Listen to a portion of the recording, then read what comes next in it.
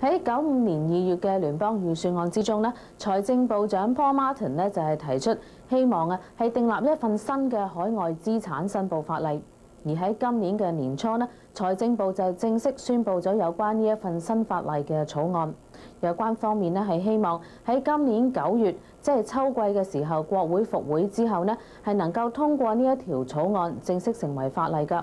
咁但係亦都喺呢一段時間呢，特別係喺溫哥華嘅華裔社團呢，就出現咗好多對於呢一條新草案嘅批評，而且呢部分人士同埋團體呢更加批評呢一份草案呢係為厭惡性嘅草案。咁究竟呢一份草案啊有啲乜嘢地方同埋對於乜嘢人士呢係具厭惡性嘅呢？而且呢一份草案如果真係訂立咗之後啊，對於加拿大嘅經濟又會造成啲乜嘢影響呢？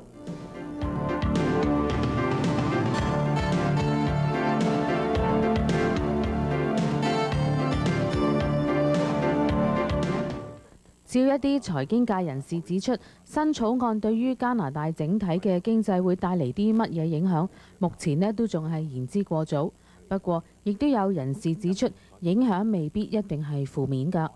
其實就唔係個個都走晒嘅，即係頭先我哋你講嘅就係話影響係影響嗰啲最高層嗰度嘅啫。咁其實你睇翻誒加拿大嘅移民。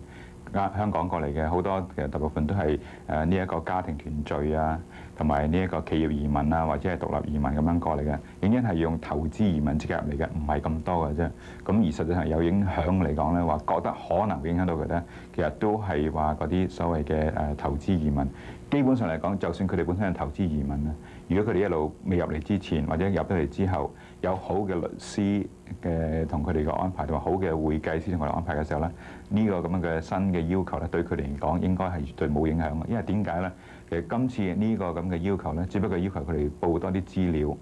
同以往要收稅收咧係完全冇改變到嘅，仍然。而如果以前係一路都係誒用足晒啱嘅合法嘅避税嘅方法嚟去做嘅時候咧。對佢哋嘅稅收嘅嘅要俾加拿大政府嘅稅咧，係完全一啲咁多影響都冇嘅，係嗰啲非法嘅瞞稅嘅嗰啲有影響。咁其實我哋響加拿大移民過嚟啲新嘅移民嚟講，百分之九十九點九咧都係誠實咁樣去報稅。我相信一小部分嗰啲海群芝麻去瞞稅嗰啲咧，影對佢影響，我相信係會對對誒影響係會有，但係對講話對誒我哋銀行嗰邊做事講係影響好少。至於講到話申報海外資產對於新移民是否太過苛刻，陳志棟就有咁嘅睇法。其實我覺得有樣嘢就係我本身嘅出發點啊。如果諗住話係真係真真正正係做個移民，將所有嘅心都係放落呢個國家嘅時候咧，以後世世代代都係做加拿大人嘅時候咧，咁我相信呢樣嘢咧根本冇所謂嘅。因為點解咧？係啊，你以前你而家生人之中之前嗰幾廿年係響海地揾到好多錢。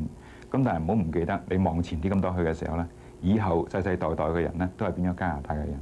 咁將啲資產報翻俾加拿大政府知，或者係將嗰啲資產搬入嚟加拿大，即係等於話帶翻一個新嘅家鄉啫嘛。有咩唔妥啫？咁同埋咧，亦都係一樣，就係權利同埋義務。加拿大嚟講，只要你一天成為咗加拿大嘅公民嘅時候咧，你有權利所以享受所有嘅權利。咁而當然同一時間咧，係要盡晒所有嘅義務。唔能夠咧，就係話一心一廂情願咁就話哇，我淨係盡到一半嘅義務㗎咋。以前嗰啲又唔關你事啦。咁但係加拿大政府冇話啊，如果你嚟到之後，你淨係可以去投票，唔可以去備選。你有權去備選，有權去投票，同埋亦都係你以前啊未過嚟加拿大之前生嗰啲細蚊仔，加拿大要繼續教育你，唔會話你嚟到加拿大啲細蚊仔喺呢度出世嗰啲，我先先教育免費教育。你以前喺第度出世嘅細蚊仔，我哋唔教育你，冇呢回事。亦都冇話話啲橋咧，就係你嚟啲路係你嚟到之後起到啲路你先準行。以前嗰啲起落嗰啲路咧，你係要要俾俾路費，冇呢一回事啊嘛。咁所以其實應該嚟講咧，就係話我希望如果係有咁嘅論調啲人咧，就將佢哋自己嘅眼光係放長啲咁多，唔好淨係睇翻轉頭嗰幾樣嘢，放長幾世幾代落去睇嘅時候咧，咁我相信個心會好過啲咁多。